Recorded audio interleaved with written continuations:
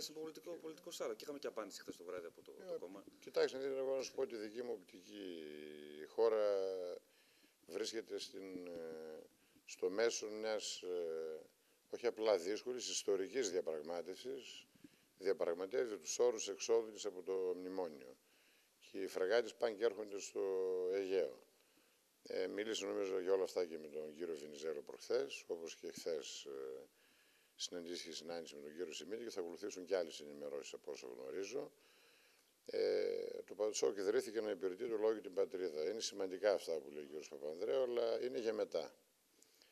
Ε, προηγείται το ζήτημα της πατρίδας, το ζήτημα το εθνικό, ε, η σταθερότητα της χώρας, η εκλογή Προέδρου της Δημοκρατίας μετά την εκλογή που νομίζω θα την πετύχουμε. Ε, όλα αυτά τα ζητήματα έχουν μεγάλη αξία. Σήμερα νομίζω είναι δεύτερα.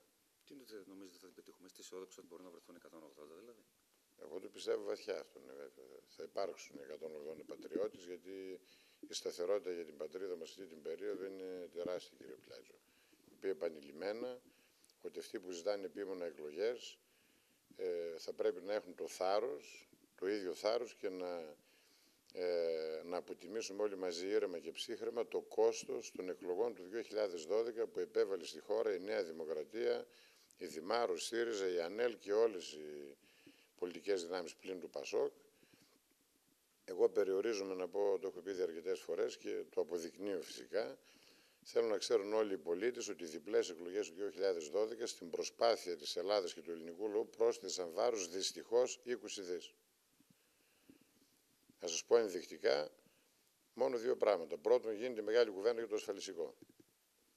Όντως υπάρχουν προβλήματα στο ασφαλιστικό αυτή τη στιγμή. Δεν δεχόμαστε καμιά περικοπή συντάξεων. Όμως, τα ασφαλιστικά ταμεία από την ανυπακοή των διοικήσεών τους έχασαν τουλάχιστον 7 δισεκατομμύρια ευρώ, από το, όχι από το PSI, από την ανυπακοή.